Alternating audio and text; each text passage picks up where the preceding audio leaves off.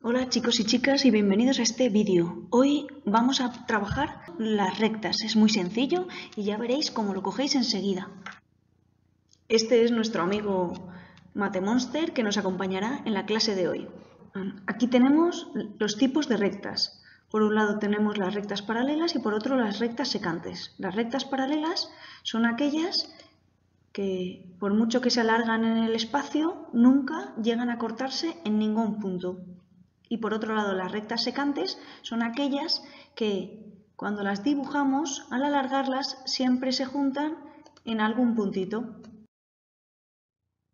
Cuando dos rectas se cruzan, pero sus ángulos, la amplitud que hay entre ellas son, es distinto, se le llaman rectas oblicuas.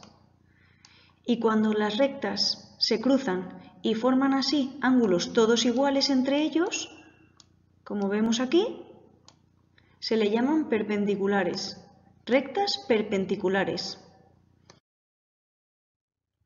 En la realidad también encontramos rectas paralelas y rectas secantes.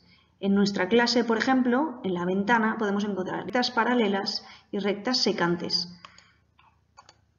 Aquí vemos que si alargamos estas dos líneas, por mucho que las alargáramos, nunca se cortarían, serían rectas secantes. Sin embargo, la intersección que se forma con la recta de abajo forma unas rectas secantes y perpendiculares porque los cuatro eh, ángulos que forman con la otra recta son iguales.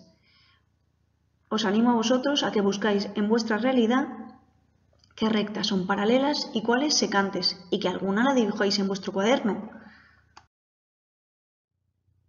También en los mapas podemos encontrar calles paralelas, como por ejemplo, la calle Eloy Gonzalo es paralela con la calle Sagunto. Por mucho que se alarguen, nunca se cortarían.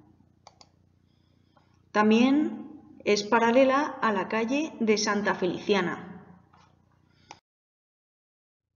Aquí también tenemos unas calles que son secantes, es decir, que se cortan en algún punto. Por ejemplo, la calle Eloy Gonzalo es secante a la calle General Martínez Campos porque si alargamos las líneas se terminan cortando. Por eso son secantes.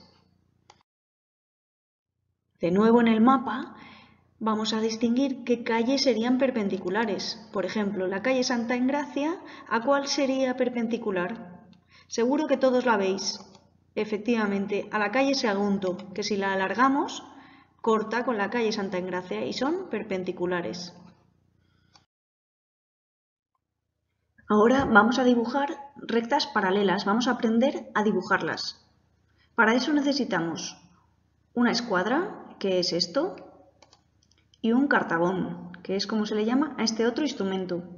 Lo primero que haremos será dibujar la línea arriba. Después moveremos la escuadra deslizándola por el cartabón, por el lado largo del cartabón y dibujaremos la otra línea. Y así tendremos dos rectas paralelas. Pues ya sabéis, el Matemoster y yo os invitamos a que sigáis aprendiendo, que tú puedes con las mates y más.